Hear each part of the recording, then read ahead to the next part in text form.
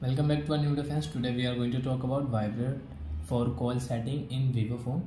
In this video guys, I will tell you how can you off vibrate for call setting in Vivo phone and guys you want to off vibrate for call setting so you can off. So before starting video friends, I want to tell you if you are in my channel and you are watching my video first time, so first of all go and subscribe my channel, click the bell icon and like my videos so by now let's start video. First of all open your phone setting. Then guys click on sound setting. As you can see vibrate for calls. Sorry friends. Click on vibrate for calls.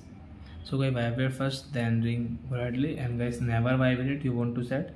You don't want don't want guys your phone will vibrate. So guys you click on never vibrate? So it will never vibrate your phone and someone will call you.